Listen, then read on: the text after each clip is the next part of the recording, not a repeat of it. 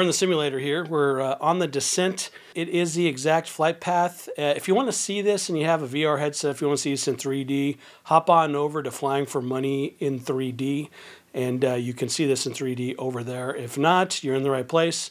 So this is the exact flight path on the way to Muan Airport. It was a departure out of Bangkok, and uh, it's in the descent here, descending through 10,000 feet on its way to unfortunately striking birds and then having a little bit of an issue after that, uh, circling around to uh, land belly up in uh, Muan Airport and unfortunately went off the end. And you've seen the video, I think most of you probably have. It crashed into the wall at the end of the runway. There's a few systems aboard the aircraft that become relevant here later on. We're going to describe them now as the aircraft continues along the flight path. Again, this is based off of ADSB data. The aircraft sends information to satellites, and the satellites transmit that information to air traffic controllers. Then they can keep uh, air traffic separated from each other so there's no aerial collisions.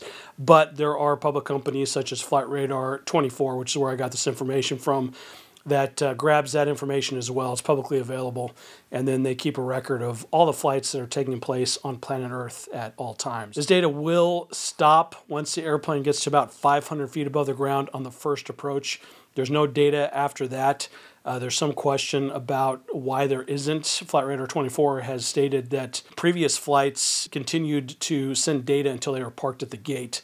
And uh, so the feeling is the bird strike probably occurred somewhere around 500 feet. I'm not sure if there was an electrical issue that may have knocked out the transponder. I know in an early report there was a suggestion that the transponder, which is right here, so you see this number 1234 on the transponder, uh, there was a suggestion that they had squawked what's called 7700. So if that number is 7700 7700, then it's, it uh, tells ATC that's an emergency aircraft. So if you declare an emergency, you don't really need to put 7,700 in there. But there was a suggestion they'd put 7,700 in there. So if they had hit the birds, declared the emergency, and decided to what we'd call squawk 7,700, um, it would have ceased to uh, be depicting itself as this particular flight, as Jeju Air 2216. When you go to 7700, that's a, that's a discrete number. So it's possible that the birds, it struck more than one bird and some of the birds that struck hit one of the antennas that goes to the transponder. There's possibility they had something like a dual engine failure. It doesn't seem likely because it looks like the number two engine is still producing thrust, albeit perhaps at a reduced power setting. I covered this on, on a few earlier videos. You can see what looks like a, a, compressor stall, a flame that shoots out the number one engine from, uh, looks like an iPhone video from the ground. We'll talk about that a little bit because you can sort of see the shoreline as you get close to the airport, Muan Airport, where that was recorded from. In any case, we're going to talk about a few components here that are important. So it landed gear up. This right here is the gear selector. This is a normal position for it, is the off position. And then uh, when you select it down, you select it into the down position. So you take this handle, you'll put it down here. That'll command the gear down. You'll see three red lights here initially indicating that the gear is in transit, and then they'll turn to three green as soon as the gear is in the down and locked position. Pretty sure on the first approach that the gear was down uh, at 500 feet. You should be in your final landing configuration, really by 1,000 feet at the latest. You should be in your final landing configuration, which will be geared down. We have a flap gauge that you can see right up here. That's the flap gauge. And uh, it's got these are degrees. So one degrees of flaps 2 5 10 15 25 30 40 that corresponds with the flap handle here. So you select uh, the flaps that you want on here and then the gauge will tell you that it's actually moved into that position. They're also leading edge uh, devices. They're called slats in most other jets. Some of them are called slats in the 737 but they also call them leading edge flaps so it's the leading edge flaps leading edge slats uh, and then the trailing edge. They usually go down together. But so the gear handle is what you're going to use, the flaps you're going to use. As you slow down, you're going to go through different settings. The airline that uh, I fly for, flaps one will be the first setting will start uh, below 240 knots. Then we'll go to flaps five. Uh, generally from there, we'll do gear down, flaps 15. The reason we do gear down at flaps 15 is because at flaps 15, if you have reduced thrust, as you generally will during a descent, uh, you'll get the gear warning horn. It'll start to uh, howl at you and make a noise at you. So I usually just put the gear down as we go to flaps 15 so we don't get that gear warning horn.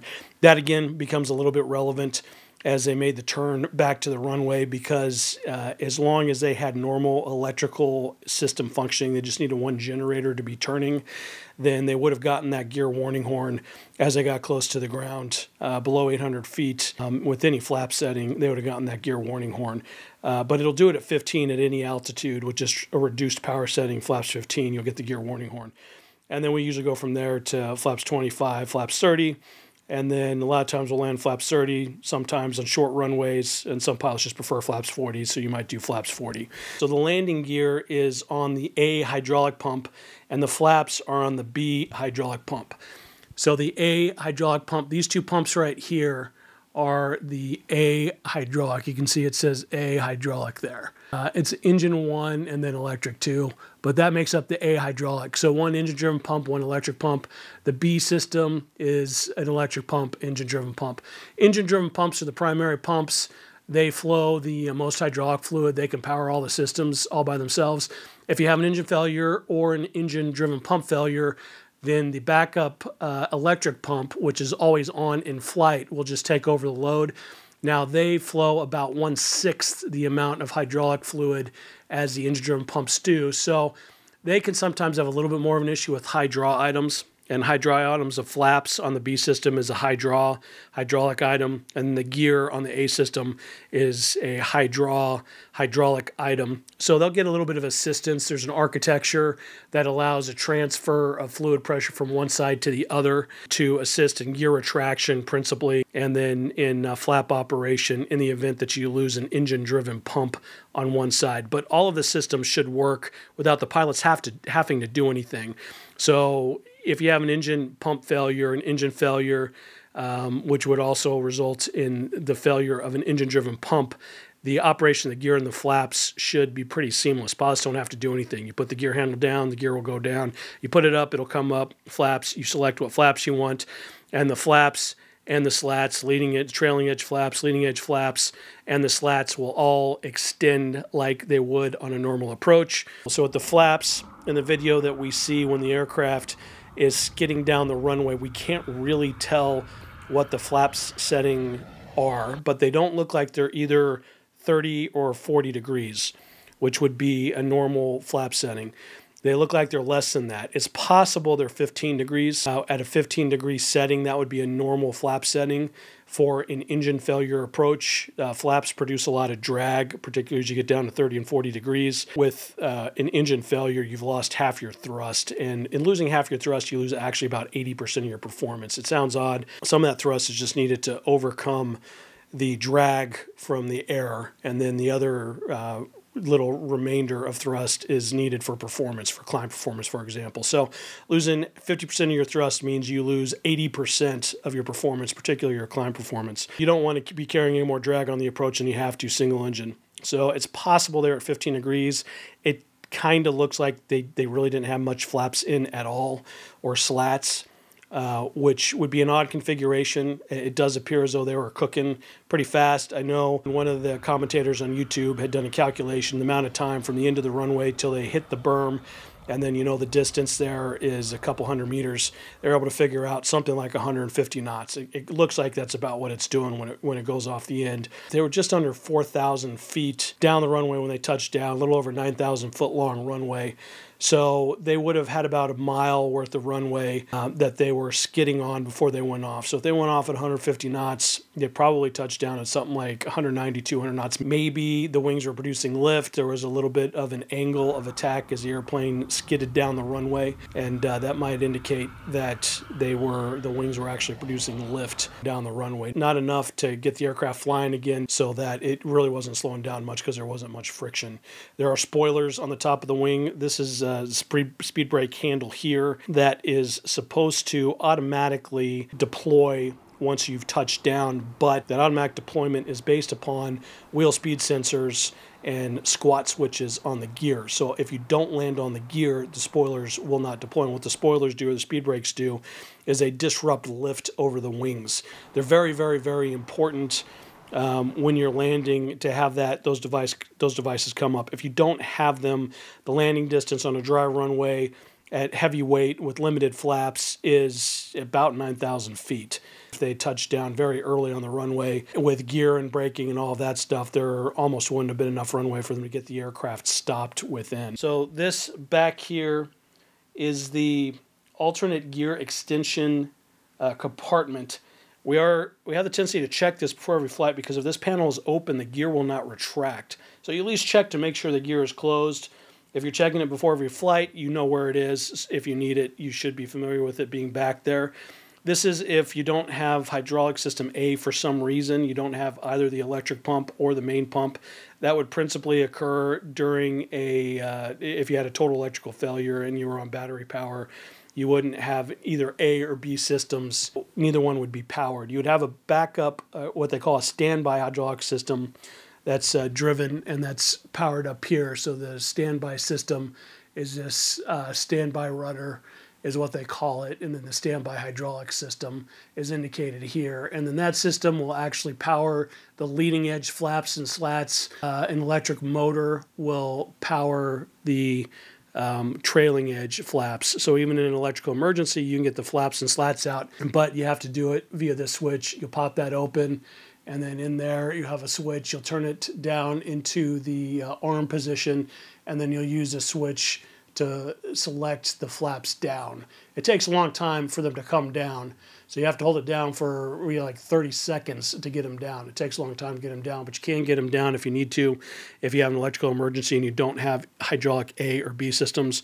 But for the gear, you have to do a uh, manual extension, which would be open that compartment up and then once you get inside that compartment, you can see that you have a handle for each of the gear. And the handle is connected to a cable, which runs down to the uh, gear and the up lock that holds the gear up. It simply just releases that up lock, and then gravity does the rest. It also closes or opens the hydraulic valve, so hydraulic fluid will evacuate from that area so the gear won't be held up. It'll just fall down by gravity. Nose gear, in particular, aerodynamic loads will help to drive that into place. So you just pull those out and then um, the gear goes down. All right, so you can see as we're uh, overhead here, that's Muan. Muan, if you can see it out there, it's in the distance. You probably can't. We got city that we're going overhead here. We're coming down through 4,000 feet. So what we're going to do is as we get a little bit lower here on the approach, we're going to take us down to about 500 feet we'll see that there appears to be a little jag where they sort of do a little bit of an aggressive descent and then they do a very aggressive climb and then they kind of level off. We're not entirely sure um, about all the details behind that. It appears to be maybe that point in time where they approached the birds. They may have tried to maneuver to avoid them. The climb may have been the first sort of go around attempt. And then as it started to level off, that may have indicated that they had had a loss of uh, thrust on the engines, perhaps loss of thrust on one engine and engine failure on the other that didn't really allow them to climb, that forced them five, six, seven hundred feet. 500 feet, they're pretty close to runway one, and they would have been flying over the field. And the quickest way around to land, if they couldn't climb, would have been to turn back to runway 19, which is a turn that they made. Now, when you go around, the uh, call out is go around toga flaps 15. So there's a button here that's called a toga button. You push that, thrust levers will come forward to give you climb thrust to get away from the ground. And then gear up. Obviously, you're going to go from gear down to gear up to get rid of the drag of the gear. And then flaps 30 or 40 would be the normal uh, gear selection for landing. You'd bring them up. You can see there's a little gate right here that'll trap them at, at, flaps 15, which is what you want initial for the climb. Get rid of the drag, but keep some flaps out there so that the wings keep producing lift. And then you can continue to clean up the flaps as you climb away if you want to. I I would be sort of surprised if they cleaned it up from flaps 15. Maybe they did. If they were having a hard time climbing, they thought they needed to get rid of more drag. Flaps 15 would be kind of a normal place to leave the flaps uh, to try to climb at, and then if you couldn't climb at, then you just come back around and you land at flaps 15. So when they get the cockpit voice recorder and the flight data recorder all synced up, we'll know what flaps they were at, if they were at flaps 15 or not uh, for that go around. And then when they came around, if they were flaps 15, they would have land, been landing a little bit fast. They may have been landing at the 170 knot sort of mark. And then when they touched down, unfortunately, they sort of settled back on the tail. Um, they were canted upwards a little bit, which would have produced lift on the wings, which obviously, if you're trying to stop an aircraft, isn't really what you want. They just skidded down the runway. If they had pushed the nose down or if they had gotten the spoilers manually, you can extend the spoilers. Uh, they are hydraulically driven. If you're on the standby system, in these uh, Dash 800s, these older Dash 800s, you can still command the speed brakes, and that's going to do a great job of slowing you down. Uh, if you don't have speed brakes, the Maxes actually don't have speed brakes if you don't have hydraulic systems, if you're in an electrical emergency. And uh, they it takes a lot, a lot of runway to stop with without speed brakes. So the speed brakes would have done a lot to help them out. I don't know if it would have prevented the crash if they'd gotten those speed brakes out or if they'd gotten the nose down but it certainly uh, wouldn't have been. It certainly wouldn't have hurt. It may have helped him out. So, and that this is something that we're supposed to verify after every landing because there is a setting that you put this speed brake in. It's slightly back and that arms it for landing. You're supposed to do that. Now, it should come back anyways, whether you arm it or not. It just takes a little bit longer. But again, we always verify because they're so important for the rollout, for the distance. All our all our calculations for landing are based upon this activating and, and putting all of the speed brakes and the ground spoilers out for landing. So because it's so important, we verify that it comes aft every single landing. We actually, the company I work for right now, I don't know how Jeju Air did it, but the company I work for right now, we verbalize it. The pilot monitoring will look down and verify that that's come back and say deployed. And if it does not deploy automatically, you reach down there and you deploy it. And so that seems to have been missed on this particular landing because the spoilers were clearly not deployed. Now, obviously, they were in a very weird scenario. They touched down on their belly. They may not have been meaning to do that. That may have been a surprise to them. And so it appears that got missed which is it's unfortunate. It probably would have helped out a little bit, but uh, it is what it is. And then the gear, once again, you know, unless they had a total electrical failure, which it really doesn't appear at this point as though they did, it does look like the number two engine was producing thrust. You can see exhaust gases coming out of the engine in one of the videos as it approached the runway, and then you could also hear it. You can see the thrust reverser open, and you can hear it as as the aircraft skids by on another video, which would indicate that the generator was turning unless it was damaged in the bird strike, the generator itself, which meant that they had electrical power. And uh, with electrical power, you have electric hydraulic pumps, and then that gear is going to come down naturally. So it's going to come down just putting the gear handle down. If they were an electrical emergency, then they have to remember to go to the back and do the gravity free fall, which I would be kind of surprised as quickly as this evolved. I'd be surprised if they remembered to do that. As we get closer here to 500 feet, this is pretty much a normal approach until I get 600, 500 feet. And then it starts to get uh, a little bit aggressive. It's not long after that that data just disappears. You can see fairly close to the runway. You can also see in the video on the shoreline either they were passing through birds or they saw birds approaching and they try to avoid them and they, they got a second uh, layer of birds. Altitude's climbing again this is about the geographic distance it would have been from the runway. Uh, potentially, if you're going to go around, left traffic is the typical traffic, so they may have been thinking about turning them to the left in order to give them left traffic coming back around to land on the same runway, runway one. But the crew, perhaps at some point, determined that they were not going to be able to make that runway. They may have been concerned because they weren't climbing very good and decided right turn around to runway 19 was their best option.